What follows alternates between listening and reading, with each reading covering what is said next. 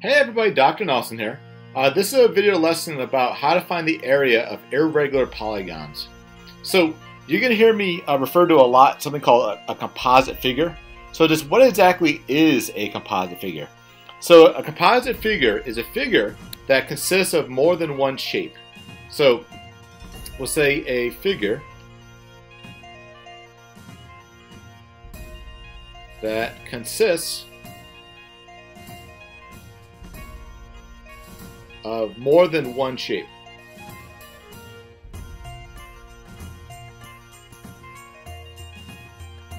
So an example of a, a composite figure is over here. Okay, so if you notice, we have a rectangle, okay, and then also a right triangle. And together they make this shape um, that looks like a trapezoid. So basically, to find the area of this shape, um, I'm going to find the area of the rectangle, and then find the area of the triangle, and then add them together. So before we do that though, let's just review the different formulas you've learned so far. So to find the area of a rectangle, it's length times width. To find the area of a triangle, it's base times height. Then you divide it by 2. And then to find the area of a parallelogram, it's base times height. And then to find the area of a trapezoid, it's the average of the bases, so base 1 plus base 2 divided by 2 times the, the height. All right, so to find the area of this image, I'm going to find first the area of the rectangle. So that's going to be area equals length times width. And then I'm going to add the area of the right triangle. So that's going to be area equals base times height divided by 2. So let's first focus on the uh, rectangle. So I know the base is 15 and the height is 12. So 15 times 12 will give us an area of 180 square centimeters. So that's the area of the rectangle.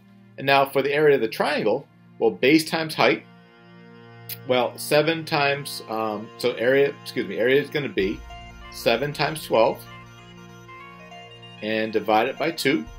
So 7 times 12 is 84, and then 84 divided by 2 is 42. So the area of that triangle piece is going to be 42 square centimeters. And then finally, to find the area of the entire thing, I'm going to add these two areas together. So 180 plus 42 will give us 222 square centimeters. And that's it. All right. Now, because this is also a trapezoid, we could have just figured out the area of the trapezoid, and that should be the same as the area of adding the rectangle plus the triangle together. All right, so why don't you uh, pause the video and try the Your Turn Now problems, and when you're done, hit play. You can see how you did. All right, good luck.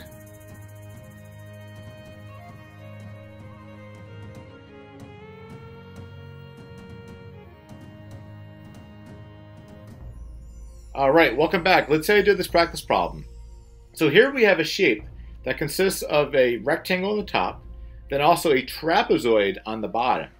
All right, so what I'm going to do is I'm going to find the area of the, the rectangle and then the area of the trapezoid and add them together. So to find the area of a rectangle, I know it's going to be length times width. So that's going to be 8 times 4, which is going to be 32, right? So 8 times 4 gives us 32. So the area of the rectangle is 32 square feet. So I'm actually going to even write that right inside here, 32. Now to find the area of the bottom, which is a trapezoid, I need to use a formula. It's base 1 plus base 2 and divide it by 2 to get the average and then times it by the, the height. So base 1 is 14 and base 2 is 8. So it's going to be 14 plus 8 divided by 2 and then I'm going to times it by the height which is right here which is 4.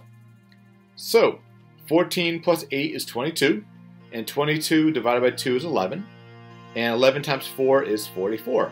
So I know the area of the trapezoid is 44 square feet. So I'm going to write that in here as well.